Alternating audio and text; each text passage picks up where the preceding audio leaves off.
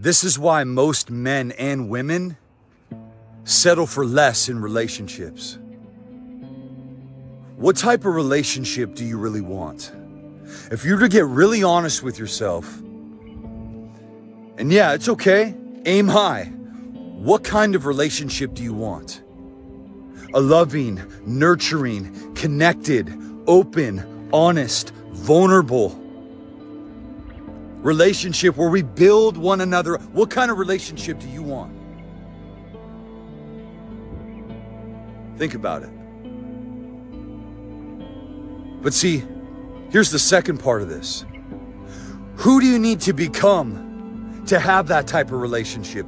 Who do you need to become to be attracted to that person? Who do you need to become to be attractive to the other person and to be attracted to them as well? See, like attracts like. What type of relationship do you really want? And who do you need to become to have that relationship? Because the level up is you need to be willing to make sacrifices. Because if you don't make sacrifices for what you want, then what you want becomes the sacrifice. If you don't sacrifice your self destructiveness, if you don't sacrifice your angry outbursts, if you don't sacrifice your lack of vulnerability, if you don't sacrifice to improve your emotional intelligence, if you don't sacrifice to be a leader, if you don't sacrifice to get in better shape, if you don't sacrifice, then what you want, that relationship that you desire, becomes the sacrifice and you are unintentionally self sabotaging yourself and preventing yourself from what you want and also what you deserve. It's who you need to become in order to attract that person.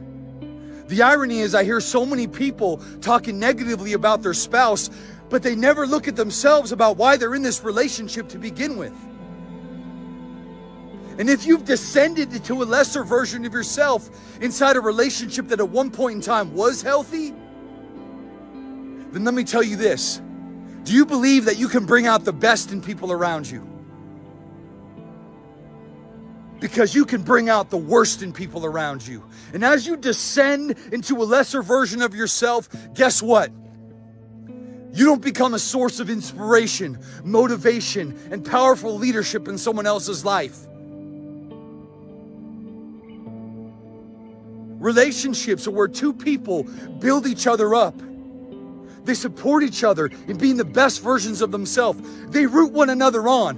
When you got married, your spouse's dreams became your dreams. Your spouse's dreams became your dreams for that person. So, who do you need to be to have the relationship that you truly want? Because somebody else's change of behavior is never going to heal you. You're expecting them to change, you're wanting them to change.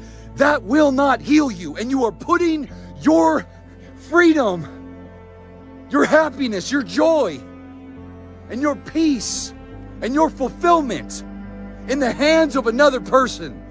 If they would just be, then I'd be. If they would just act like, then I'd feel. If they would just treat me in this way, then I'd. And see, you got it backwards.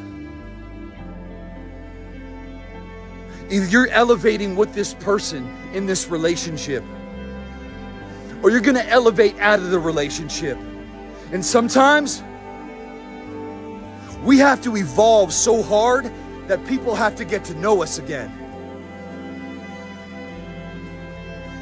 But are you willing to make the sacrifices that you need to make to attract the person that you want to attract and be attractive to the person that you want to be in that relationship with? Because that's the real question. Because sacrifices need to be made for your future.